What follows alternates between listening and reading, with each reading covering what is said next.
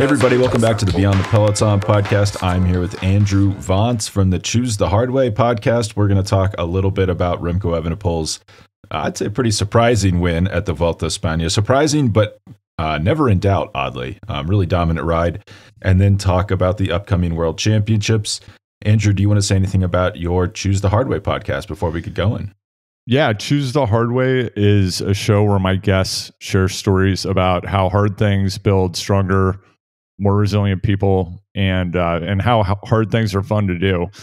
Um, I have guests from a really broad variety of disciplines. Coming up, we've got Lynsey Dyer, the big mountain skier and activist. I actually have the cycling journalist um, who does much more than cycling journalism now, Ian Dille from FloSports, also a former elite level racer. He's going to be on the show soon.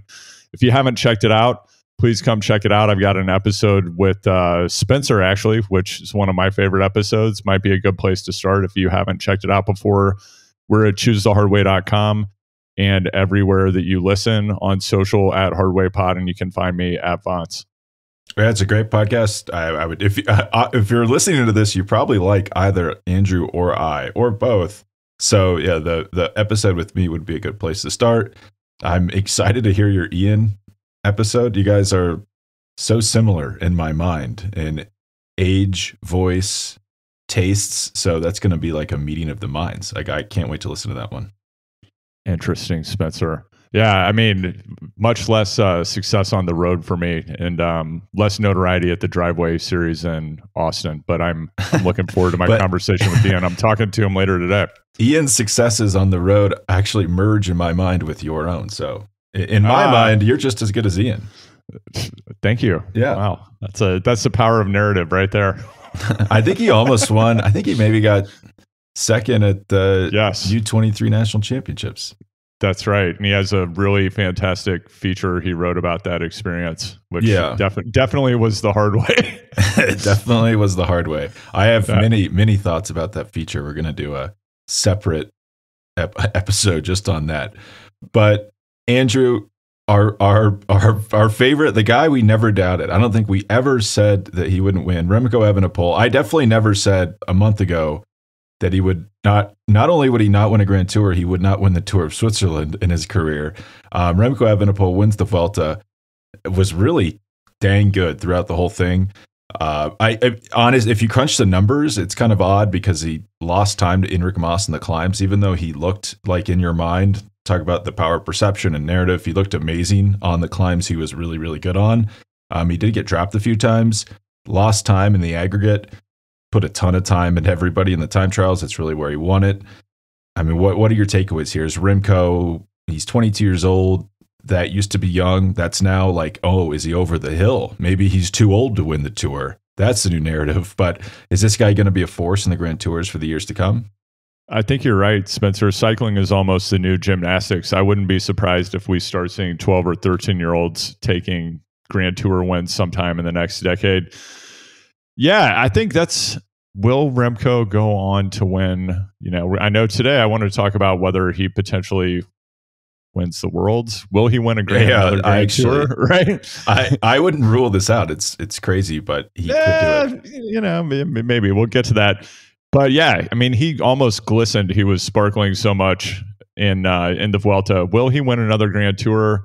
I I mean, I know that I never said that he had no chance that something would happen at the last minute and he wouldn't win this race. And who knows? I mean, it's maybe he still won't win the race, even though he's won it does he have a few grand tours ahead of him?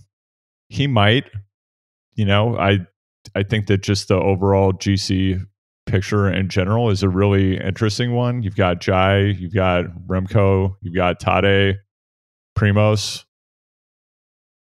Richie. What did, you, did we mention Jonas? Oh, wait, did you say Jonas? I did not say Jonas. Jonas is pretty uh, dang good. I'd say he's he's pretty dang good. I I mean, hot take here. I don't know if we're ever going to see uh, Jonas compete at a Grand Tour again.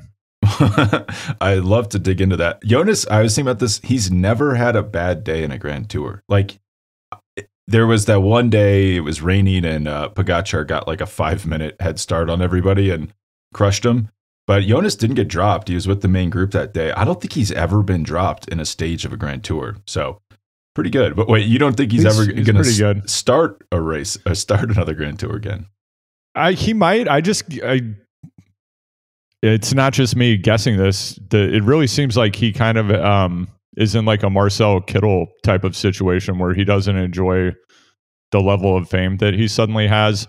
I think it's a lot for any individual to handle, and you know, is he going to be able to handle that going forward? Because the pressure of being in the public spotlight, having to handle media, is going to be greater at every moment in the future than it is right now. So it's just going to compound, I think, as he becomes more and more successful. I'm sure he's working with a sports psychologist and trying to work through whatever is going on.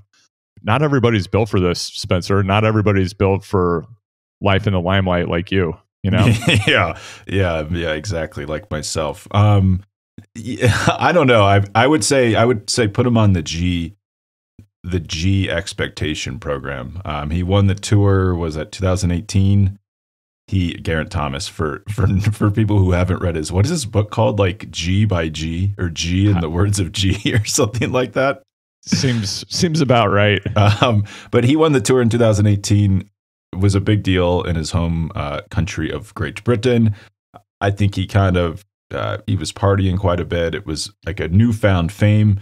He really wasn't the same for like two or three years afterwards, but we saw this year the guy was awesome. So you know maybe I I could see Jonas having a bit of a hangover just dealing with the newfound fame. Egan Bernal before he had a terrible crash and broke like every bone in his leg was suffering maybe from some of the same thing where he won at a really young age, was really, really popular in his home country of Colombia, and was not quite as good. Um, he did come back and win the Giro. I think that was two years later. So I, I would have the same expectation about Jonas. I think we will see him at the start of a Grand Tour. Yeah, we'll see him at we'll see him at the start of a Grand Tour again. I, I think in all the cases that you just brought up, though, I think they're. I just get the feeling they're really different. I feel like Jonas is more on the Kittel end of the spectrum, as it relates to potentially how he feels about the level of attention that he's getting. And with, I don't want to call him G. Let's call him Geraint. He, um, I mean, I think he like Wiggins suffered from Oasis syndrome. You're right. Like I think they went into this spiral of of doing some serious partying after, after Yeah. they won Grand Tours. There's just something about. I mean, if you look at those guys, they've got the Oasis hair. Uh, yeah, like we'll see how Thomas's look evolves once he leaves the sport. But real, I mean, like they're real characters, I think, and uh, interesting personalities. And I get the feeling they do like to party.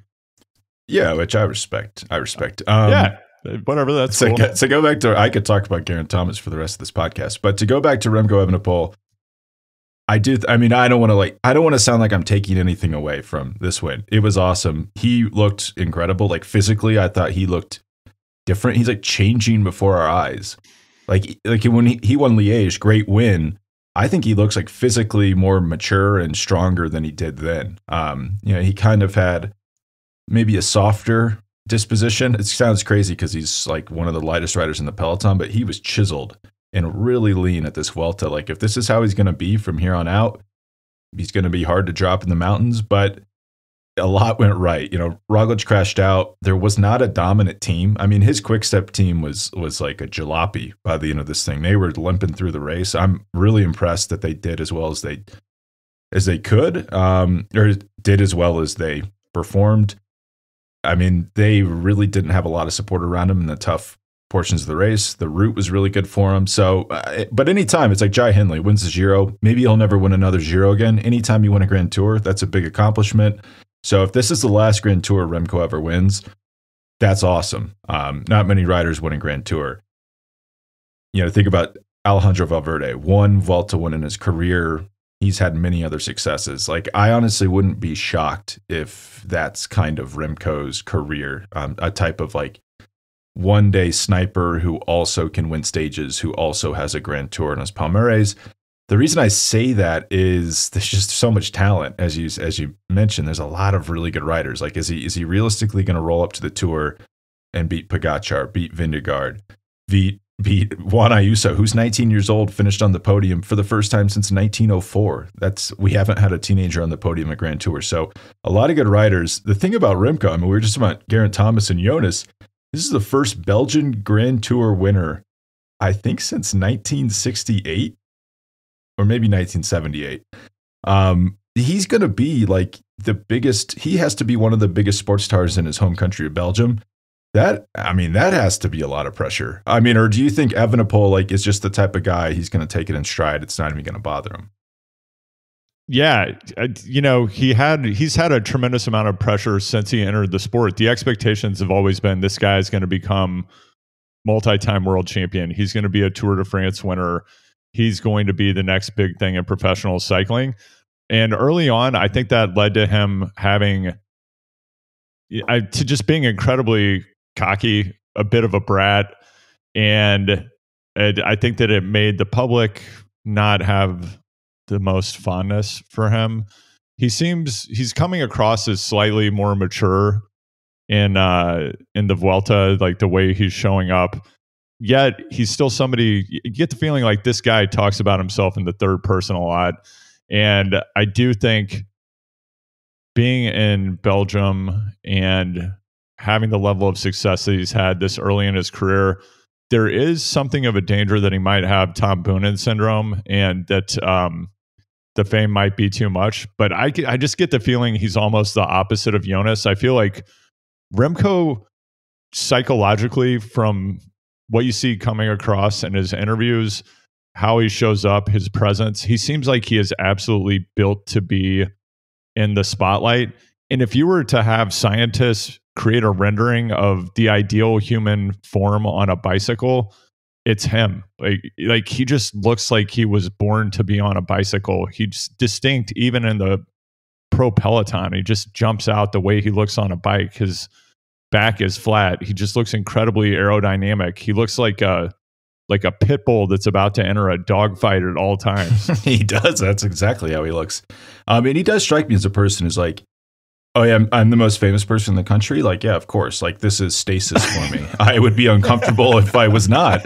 Um, but I uh, I want to talk about I, the thing I the the red flag that's coming up for me here, and that I could think I think could be a maybe an issue for him going forward. I mean, physically, I think he's got all the tools. Like, I think time trialing is massively underrated when it comes to Grand Tours. You know, it's why Chris Froome was so dominant. If you start the race with a multi-minute head start on an everyone because you're so good at time trials, you're hard to beat because you can just hold a pace on a climb, and you can hold that pace because you're great at time trialing. So Remco's got the tools to to win multiple Grand Tours.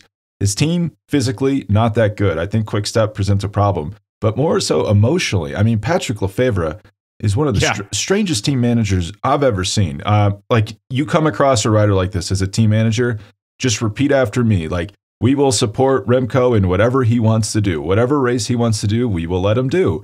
Like that's what you do when you have a Grand Tour rider because it's a it's so hard to win Grand Tours. You you hold on to that rider when you find him, and b it's really mentally taxing. I mean, those guys have to be coddled. Everything has to be right inside the team because once the race starts, there's so much going on it's nice to have a relaxed, supportive vibe inside the team.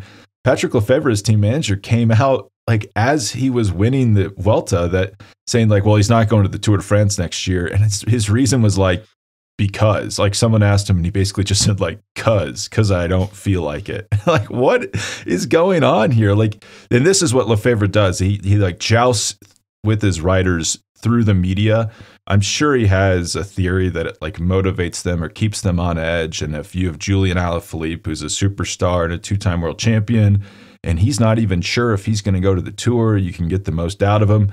I think in some respects that does work for one-day racers and stage hunters, but I don't like that at all for Grand Tour riders. And you should be telling Remco, like, hey, man, whatever races you want to do next year, we're here for you. We support you.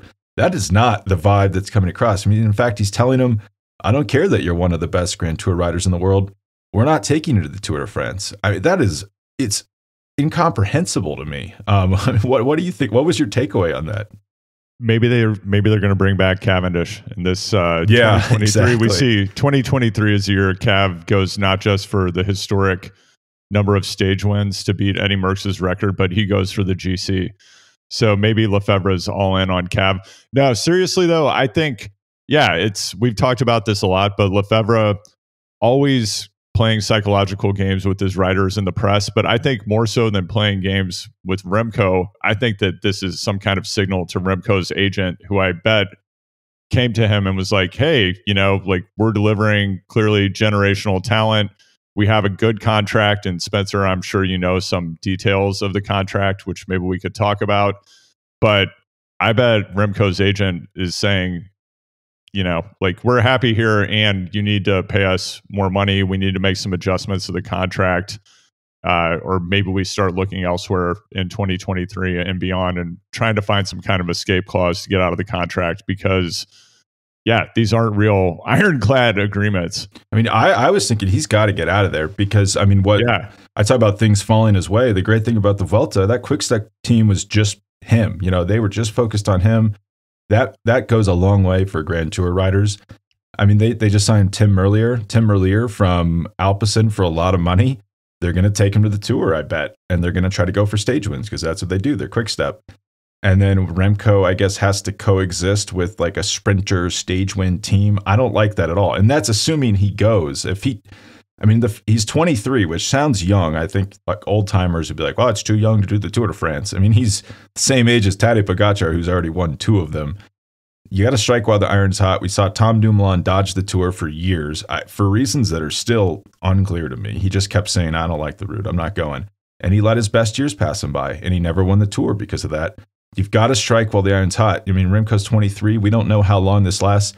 You got to go to the tour and try to win it. I mean, that's my stance. That's my opinion. I was thinking he's got to get off this team ASAP and get to like a real team that will ride for him Talk to someone inside the situation. They said no, like he's going to stick with the team. He's got a long-term contract. I, I as you say, they're not ironclad. I yeah, I mean, there's potentially something is going on with Lefevere and his agent, and Lefevere's trying to say, "I'm the boss. This is how it is."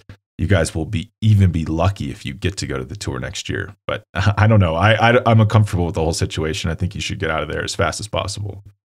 Well, to support Remco at the tour to have an actual chance of winning, we then have to think about what needs to happen to the composition of the overall team. How does that impact? You know, thinking thinking through here, second and third order consequences. If you really want to shuffle this team to take it from stage hunting, uh, you know, potentially Alaphilippe going out doing some breakaway work or going for sprint stage wins, who do you need to bring to the team to support Remco at the tour with appropriate resources because you know looking at Tadej versus uh, Jonas, I mean we talked about it the entire tour. Tadej because of COVID and other factors just didn't have the team that he needed, and that's why he got smoked ultimately. So what would Lefevere have to do to build the type of team that they would need for Remco to actually have a chance of winning? What adjustments might need to be made?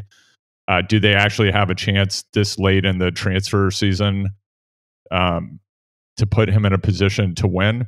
Or is it time to send Evenepoel back down to the junior ranks and put him on restricted gearing? yeah, get him. I, I mocked up like a list of U23 riders under the age of 23 that could be racing the U23 World Championships, and it's ridiculous. Um, Evenepoel would be one of them. But yeah, you hit the nail on the head with the resources comment. I mean, I think that's maybe what's going on here. It's really expensive to build a team that can support a GC rider. Like Quickstep's so successful, they have the most wins in the Grand in the World Tour every year, but they don't spend a ton of money relative to everyone else on contracts because stage win, stage hunters, kids, if you're out there and you're wondering, should I be a stage hunter or a Grand Tour rider? Be a Grand Tour rider because even if you're getting fifth and sixth consistently, you're getting paid a lot of money. Um, it's a you get paid a lot less as a stage hunter and one day racer. You're just more expendable. I mean, think about Quick Step. They just switch these classics riders in and out. Like Yves Pair, pop him in. He'll win a race. He won a stage at the Tour de France this year. So they they really run on a shoestring budget. They're really bonus heavy. But if you want to bring in riders who can support Remco through a Grand Tour, you're going to have to pay them seven figures base salary Lefevere doesn't want to do that at all. They do have some like Swiss Army knife. I was surprised with this guy Il Ilan Ilan Van Wilder. He's kind of a Remco clone. He's also really young. He performed really well in the mountains. I mean, they have Fausto Masnada, who was not great at this Vuelta, who can do some support in the mountains. Um, Louis Van Marca, who they got from Alpecin, is also good. But I mean, these are not like Jumbo just signed Wilco Kelderman, who is a GC rider in his own right, to ride in support of Jonas Vingegaard in the mountains. I mean, so I mean, think about UAE. They have Marc Soler as a domestique. They have Joao Almeida who can work as a domestique at the tour. These are really, really, really high paid riders. It just takes a lot of money to build. I mean, Sepp Kuss makes a lot of money. Not to out Sepp Kuss as a rich, a rich or anything like that, but Sepp Kuss makes a lot of money, and he just rides in support of of his Jumbo teammates at these Grand Tours. So you really have to splash a lot of cash. Uh, Lefevere, for, he might be a kind of a strange man in my opinion, and has a unique management style. But the guy is a good businessman. He knows how to keep his payroll down, um, which keeps his pay up. I think he wants to keep doing that. I yeah, I don't. I I could see them maybe maybe bringing in one other rider. It's really late late in the transfer season. They have a pretty full roster. Um, I mean, someone like Jay Vine, if they could have signed him before this Vuelta, would have been ideal.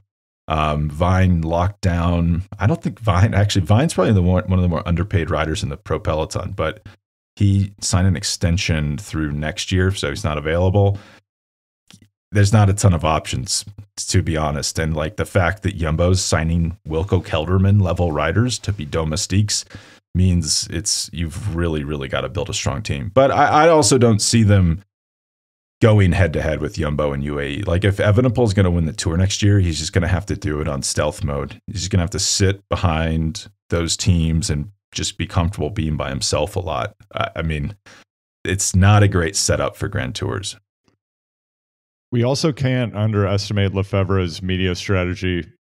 He is in a media market where he's on the same level as you know an NFL head coach in the United States. Like I'm imagining if Jonathan Vaughters were an NFL head coach and instead of bike Twitter paying attention to what he had to say, the entire country paid attention to Jonathan Vaughters. That's actually the situation Lefevere is in. I mean, he has a column in a newspaper he makes news almost every day. And the more he's in the news, the more he's getting coverage of his sponsors and delivering value for them. So I think that there's a psychological aspect to what he's doing. I definitely think he's trying to leverage social engineering and nationalism to get certain results with writer agents. And then I think he just wants to be in the news constantly because he likes being a media personality and it's how he delivers value for sponsors. He kind of reminds me of like a college football coach or something. You know, it's almost because yeah, totally. like NFL football coaches are so professional. You almost never hear them talk about, you know, it's like Bill Belichick. She's like, yeah, the, the team we're playing is awesome. I love that quarterback. It's it's like fake praise because they want to stay out of the news. Yeah, yeah he kind of is like an eccentric no, college football coach, like an SEC. Yep. Maybe, uh, I mean, not the perfect analogy, but more like a Steve Kerr, where doing something interesting all the time and uh, stays in the news for reasons beyond the scope yeah, of just like Steve, what's happening with athletes. Evil Steve Kerr. If Steve Kerr was just like, you know, who's to blame for sexual assault? Women. like if Steve Kerr was just a bad guy, then he'd be Patrick Lefevere. So Patrick Lefevere, uh, one of his uh, writers, sexually assaulted a woman, and then Lefevere blamed the woman. That's the context there. Yes, so they're not analogous in that way, just in the way of staying in the media for very different reasons. So the big takeaway from this Vuelta, other than the fact that Remco Evenepoel is good, officially we can now say it out loud. The guy's awesome. Um, Primoz Roglic is sad. I'm sad. I wish he would have stayed in that race. I still don't think he could have beaten him. That uh, final week was oddly bereft of uh, cool climbs and good routes. But a lot of young talent. I mean, Juan Ayuso, 19 years old, gets third. I've never seen anything like that. Um, you could say Tadej Pogacar got he got third at the Vuelta in 2019 Vuelta at the age of 20. He was stronger than Ayuso, I thought. Uh, if that was a four week race, Pogacar would have won it. Carlos Rodriguez gets seventh. Thymen Arensman sixth. Both of those guys are under the age of 22. Um, and there's one other young writer I'm forgetting. Uh, hold on a second. I feel terrible. Forgetting this young man. Um, I guess Joao Almeida is young too. And then Giant. No, no, I didn't forget anyone. So, Andrew, what's going on here? I have a theory. I have a couple theories, and I read one late, late last night that I'm gonna share with you. But what are your theories? Why, why are these young writers so good relative to like the older stars like Lopez and Enric Mas? Yeah, I think it goes back to a topic we've covered before, which is the democratization of training, nutrition, and recovery information, and them beginning very serious training programs that are data driven from a very young age. I think that that's the main thing that's made a difference and why we're seeing so many young riders uh, succeeding so soon. What do you think, Spencer? Well, yeah, I mean, yes, I agree with that. Also, yeah. something to think about like 10 years ago, Ayuso, Arensman, Rodriguez aren't at this race. Or Evenepoel. Yeah, None of those guys sure. are here. They're at some crappy race in Belgium. They're at a Kermesse on a U23 team making like $400 a month. The fact that it was like mandated, I guess the NBA was like this, you know, like Patrick Ewing did four years in college. Like, why? Why would you not just go professional? And now a lot of the good riders skip that step, or good players skip that step. Same thing in cycling, where this thought that like you have to go U23 never made a ton of sense to me. I mean, if Juan Ayuso is good enough to get third at the Vuelta at 19, he should just be racing professionals. Why would he have to race in U23? Um, and I think team managers also used to be like, well, this guy's 19. And this was maybe before they understood power. It's like, well, he's 19. He has to work for an older rider. And now they can just say, well, he's way stronger than everyone else on the team. He should just be riding for himself. Um, the fact that they're just out of U23 and at these races gives them a chance to shine. But I read this pretty, it actually reminded me of you, pretty interesting theory that, um, like a lot of, so we just know now that eating a lot of food during riding allows you to be more powerful. That's why we're seeing race speeds go up, average powers go up because people are just properly uh, nourished during efforts. We used to not eat that much during actual races and rides. And this is possible because of like the the famous two to one ratio gel. Um like uh like Mart- martin martine i don't quite know how you pronounce the gel name. It's a very good energy gel. They're they're wildly expensive but you know they, they it's like a gel that allows you to eat like 400 500 calories during a race and that I mean, hey, that's let's just hit pause there. That's just marketing. You don't have to have Martens. We covered this on the last podcast. You're right. It does have the magic ratio, which is two parts maltodextrin to one part fructose. What's different about the Martens product is that it's suspended in a in a gel that's algae based, and uh, was initially made famous because Kipchoge was using it in his preparation for breaking the uh, marathon world record and then the Breaking Two project. Subsequently, it's become clear that it's really about that ratio and training your gut to be able to tolerate ingesting and absorbing a high level of carbohydrate, which you actually have to do over the course of months or a year. And riders are now getting up to 150, 170 grams per hour. Like I heard Keegan Swenson talking about this on the Trainer Road podcast recently. I mean, as recently as three months ago, people were like, their minds were blown that Mathieu van der Poel was ingesting 120 grams of carbs per hour when he had a piece of tape on his stem that had his nutrition scheme. I don't remember. It might have been during the tour of Flanders. And then he revealed, like, yeah, this is what I'm eating during a race. Three years ago, people were eating maybe a maximum of 60, 70 grams of carbs per hour. That was thought to be the upper limit of what it was humanly possible for someone to actually absorb and metabolize while exercising at the intensities that happen during a cycling race. And if you go back 20 years ago, I mean, Spencer, I don't know what was happening um, on your extremely well funded KU elite um, amateur racing team but a lot of people just used to not eat at all when they trained. They thought that made them tough. They wouldn't drink water. I mean, there's yeah. still no, there's I, still I, riders like that yeah, now. I remember like, this. Yeah, like if you're doing that, you're actually an idiot. You're not tough, right? yeah. Sorry, I interrupted you though, but like I can't let the Martins comment go by because like they've done a great job at marketing and they were one of the first products to market in that space. But it's a good product. I personally you know, Spencer, I know you're a bit of a foodie. I, I really don't like the mouthfeel of that product. To me, like you are drinking a, it's a, it's really very, unique.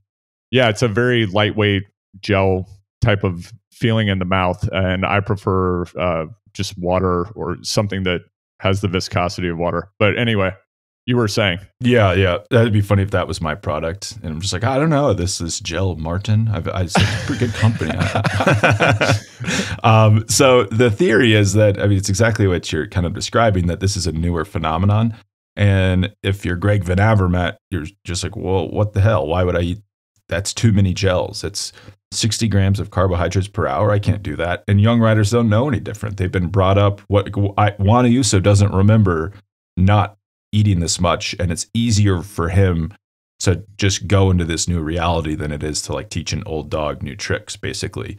Um, i don't know if i totally buy the theory but it's kind of an interesting thought it was like an interesting theory that that's one of the reasons these young riders almost have an advantage because they don't know any different other than shoving gels down your gullet. I mean that's a lot of calories and carbohydrates per hour. I'm not sure but on the other hand, if that was my job, if I was making four hundred thousand dollars a year racing a bike, I'd probably just be like, okay, that's what I do now. So it's an it is an interesting theory. I don't know if I totally buy it, but I mean, it also just could be back to what you said that you can be 18, 19 and train like the top professionals do. You know, it's not as opaque and like really like for Michel Ferrari was Lance Armstrong's doping doctor and the guy is just a smart guy who like knew how to mix really good training with EPO and it was not really like a secret sauce. He just kind of was a good like a, an interesting thinker who could write training plans that probably would work now, you know, versus there just was not a lot of like smart training even 15, 10 15 years ago. So it could just be that that's all been, you know, that edge has been smoothed out and everyone just has access to really good training now. Yeah, it also it could be something else, and the nutrition thing could just be a cover story similar to the story of efficiency being cited as a factor for some athletes performing at a level above all other athletes in a previous generation. Don't forget long femurs.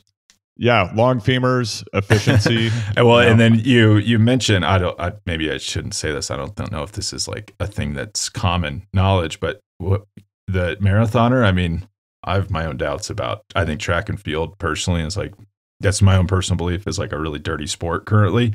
So the fact that this is coming from track and field, it makes me a little uneasy. Actually, I didn't know that that's where this started.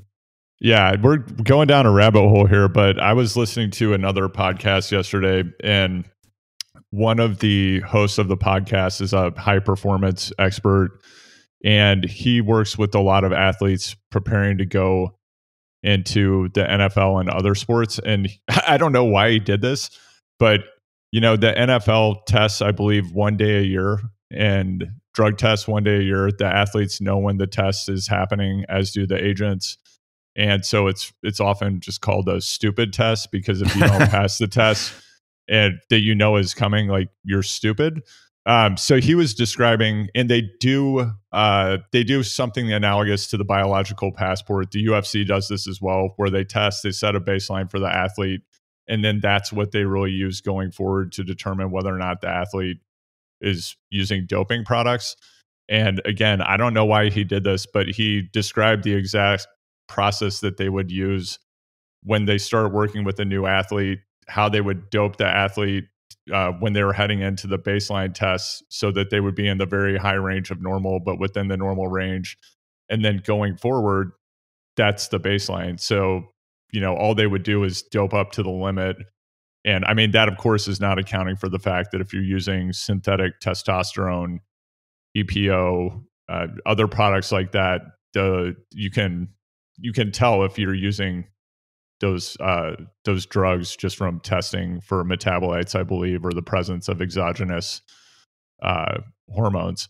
So I don't know why that's not happening, but if you're just looking, for example, at testosterone to epitestosterone ratio, or maybe things related to the uh, the age of blood cells, that's he's like, yeah, this is exactly how we do it, and this is why drug testing and these major league sports that you're watching is a complete joke. Yeah, you see this in in the NBA sometimes too. The uh the intelligence test where random people will test positive for steroids and then you're like, well, like they can't be the only one. But it's exactly what you're describing where you get one day a year d- don't screw it up. And there's actually a team that's like famous for like rehabbing athletes' bodies, and one of their uh, one of their players tested positive for steroids. So that's probably what's going on there. Um, it's all a, the NBA and NFL and Major League Baseball have really weaved a fantastic tale there and gotten people not to pay attention to how much performance enhancing drugs are going on in those leagues.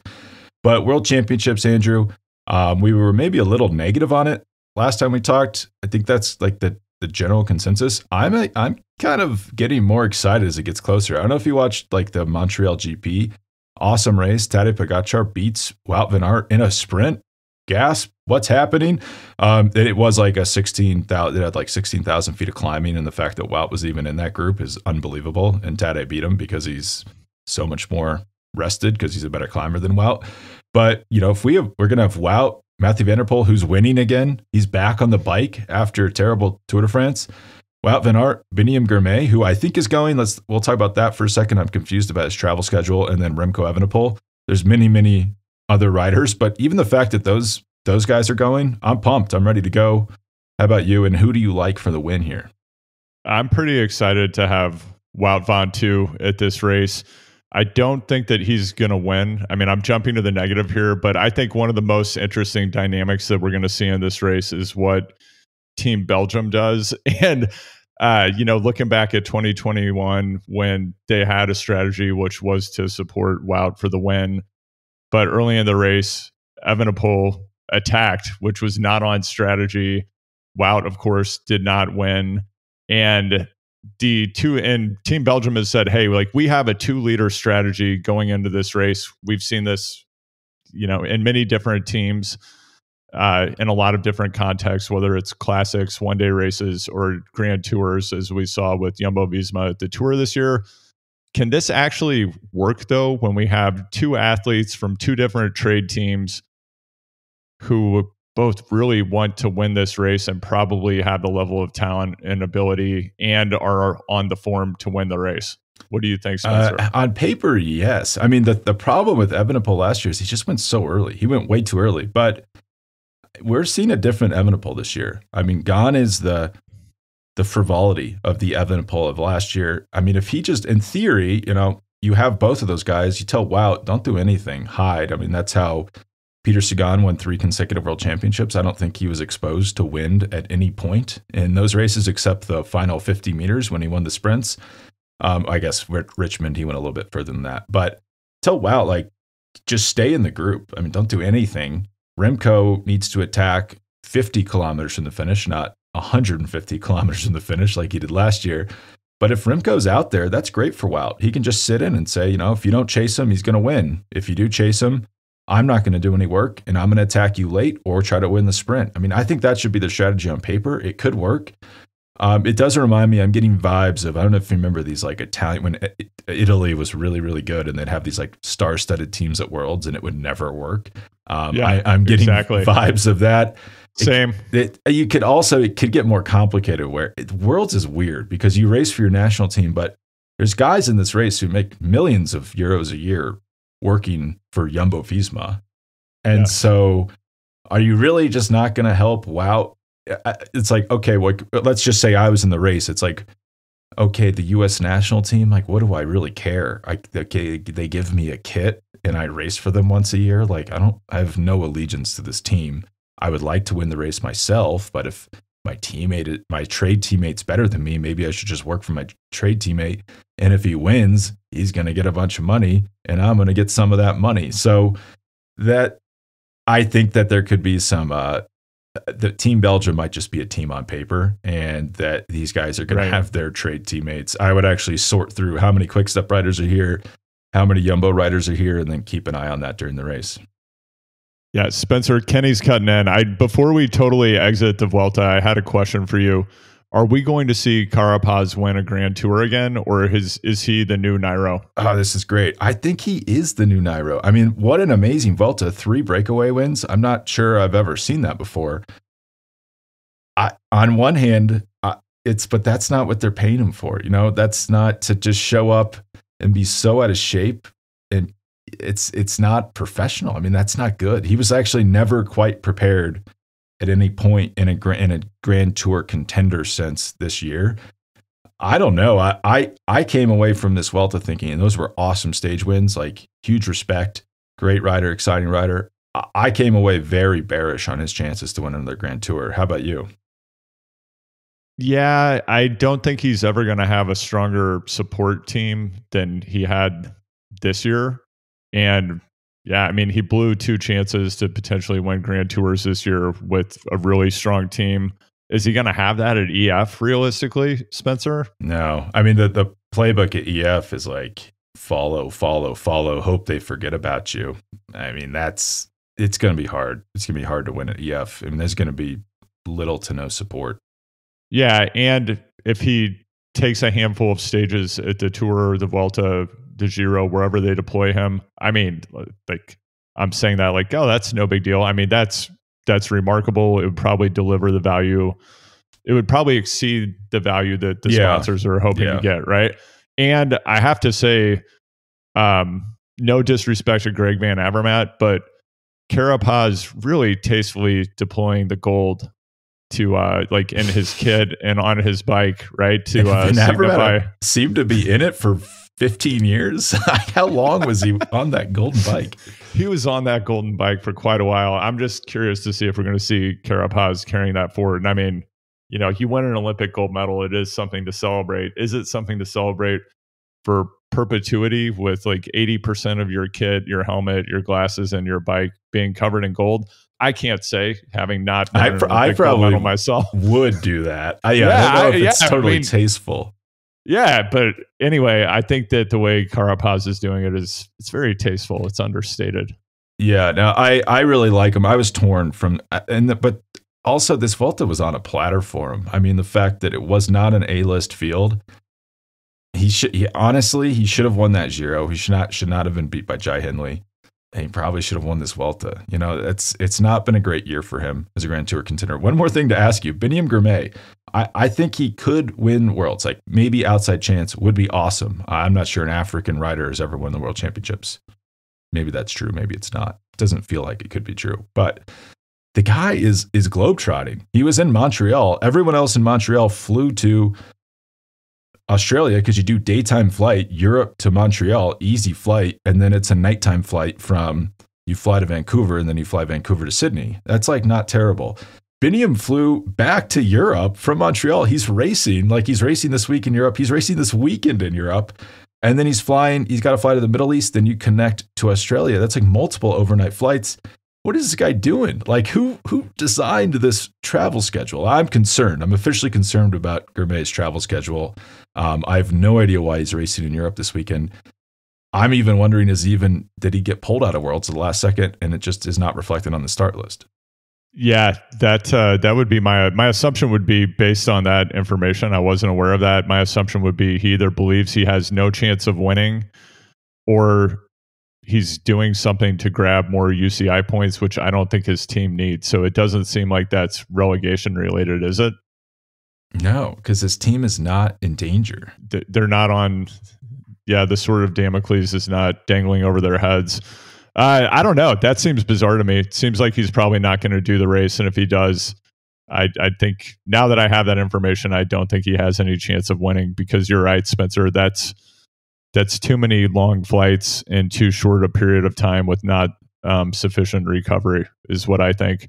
I did want to ask you though, um, and then we probably should throw out who our picks are for worlds. And I know, I mean, I've got a tee time with college that I'm going to have to get off to here in a minute. I don't know about you, um, but one thought that I had about you know going back to second and third order consequences, which I always like to think about. Shout out Ray Dalio, is uh, with the relegation battle one unintended consequence is it is actually making us pay more attention to all of these races that were just kind of whatever blah i don't think people were paying a lot of attention to these races that happened in canada in the past week historically is it actually good for the sport that there's more pressure and attention focused on these kind of like second or third tier events and you're getting stars of the sport showing up could that potentially reinvigorate cycling in like tier two markets like Canada or the United States? Yeah, or is this just? Yeah, I mean, it's definitely something to be said. I mean, those were awesome races, and yeah, we all paid attention to them. But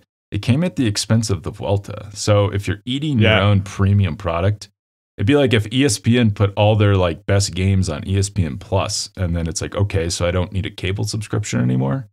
Uh, that it's like it's cannibalizing the the top races. Like World should be the priority, not Marco Pantani Classic, which is tomorrow, which I am excited to watch. By the way, I will be watching that. But I mean, a lot of these guys are just going to stay in Europe and race these second and third level races, which are fun. Um, but they're not. I mean, I was even watching. It was uh, Giro Toscano the other day, Toscana, and like they were racing on a road with cars on it, like pedestrian cars. Like these are not, in my opinion, that's not something that should be happening at a top level race with the best riders.